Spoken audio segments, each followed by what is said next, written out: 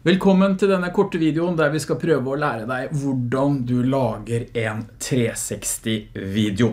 Det første du trenger, det sier seg vel egentlig selv, det er at du trenger et 360-videokamera.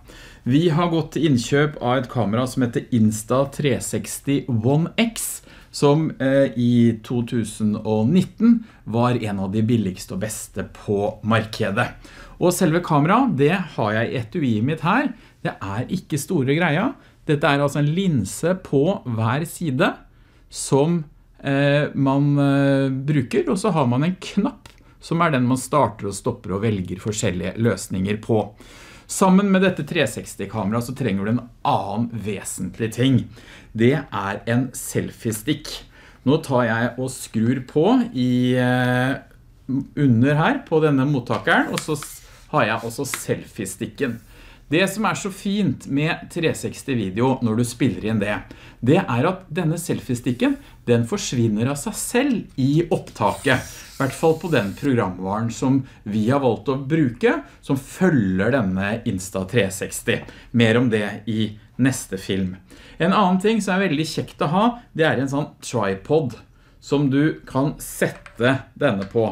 Det er nemlig sånn at i veldig mange sammenhenger så eh, er det lurt å stå stille når man spiller inn en 360-video.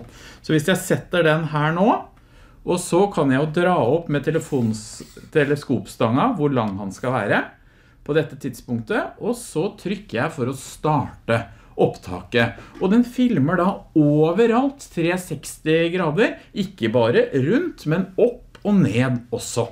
Veldig praktisk. Grunnen til at jeg har denne beskyttelsen rundt eh, halsen er at eh, det er veldig viktig å aldri legge fra seg kamera på et bord, for her er det en linse som stikker ut og veldig fort blir ripete. Så har rutinen om å alltid putte kamera inn i dekselet sitt, og det er altså sånn at lading og overføring, disse man trenger til det, det sitter da på siden, så du kan fremdeles bruke den mens han ligger inne i futteralet sitt. I den neste filmen så skal jeg vise deg at jeg rett og slett bare trykker på denne knappen her.